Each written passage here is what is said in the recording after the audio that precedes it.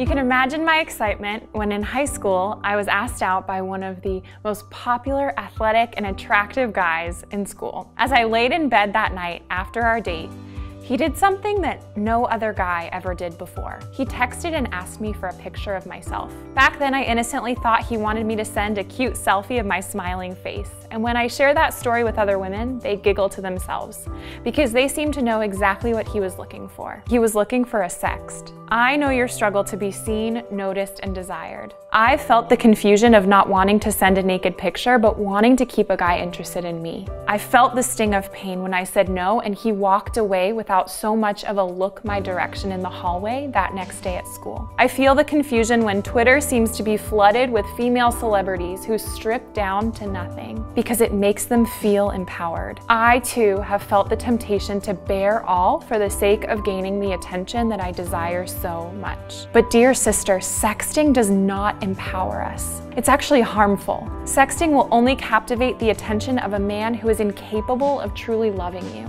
You are made for so much better. So please don't send that sext. Sexting gives a guy control that does not belong to him. The idea that you need to send a picture to keep a guy might be true for the men that don't really desire to love you and aren't worth your time. The truth is, no matter what he says or how often he tells you that he loves you, the man that asks for a sext is seeking his own pleasure by taking something that does not belong to him.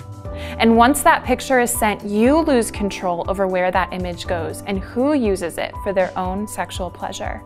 This is not love, and you do not deserve this kind of pain and disrespect. Sexting uses your body as a form of pornography. Any woman's body who is passed around as a means of sexual pleasure is disrespectful to all women.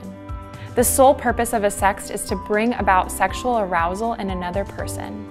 This arousal is completely divorced from love, and it's the epitome of seeking sexual arousal for selfish reasons.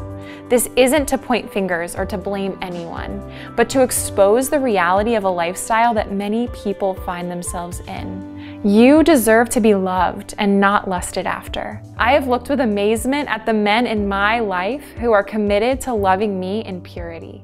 The truth is, a man who really wants to love you would never ask for a picture. Sure, he might be captivated by your beauty, but he's too busy learning to love you for your whole person and not using your body. Saying no to a sext invites men to fight lust and heroically love through sacrifice.